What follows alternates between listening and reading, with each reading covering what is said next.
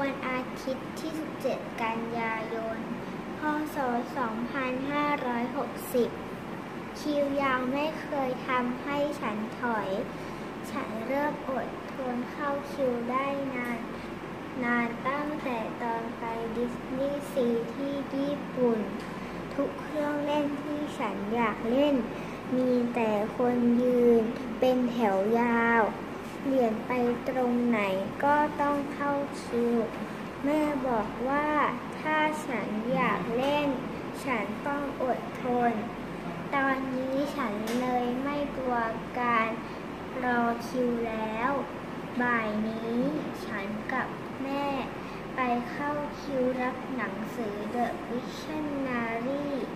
ตอนไปถึงคนเยอะมาก แม่ถามฉันว่าไหวไหม แล้วเราก็ จูงมือกันไปเข้าคิว ฉันดีใจที่ฉันอดทน